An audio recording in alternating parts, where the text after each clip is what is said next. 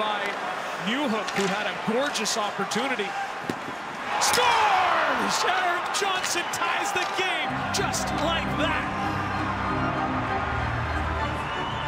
And you can hear the thud in the back of the net when this one goes by Husso. Newhook with a great A chance in his first game in the playoffs this season.